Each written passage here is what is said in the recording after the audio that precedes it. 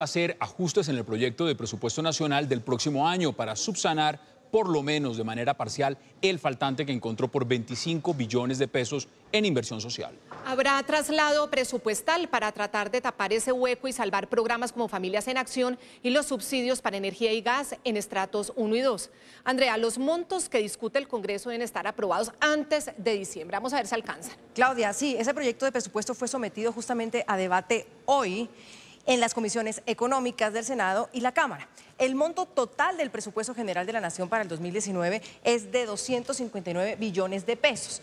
El gobierno del presidente Duque había detectado que faltaban justamente 25 billones de pesos en el presupuesto que presentó el gobierno pasado para financiar gastos sociales. Así que serán trasladados 14 billones de pesos que estaban destinados al pago de la deuda del Estado para asignarlos a esos programas. Sergio González con la información. Sergio, adelante.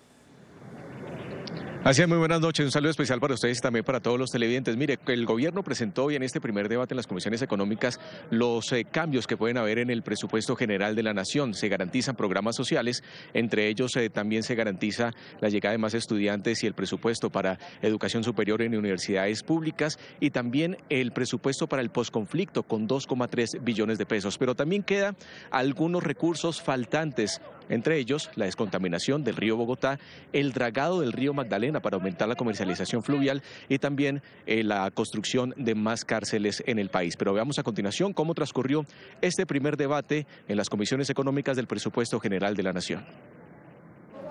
Después de varias reuniones, el gobierno presentó las nuevas modificaciones al presupuesto de 2019. El dinero faltante pasó de 25 billones a 11 billones de pesos, aunque la magnitud del déficit es tal que los cambios tributarios serán inevitables. La siguiente tarea es, a través de una ley de financiamiento que vendrá a ser discutida eh, más adelante, tenemos que encontrar eh, la manera de solventarlos. Programas como Familias en Acción, los subsidios de energía y gas a estratos bajos y recursos para el posconflicto quedaron garantizados, pero aún falta dinero para desarrollar programas ambientales deportivos y de exportación.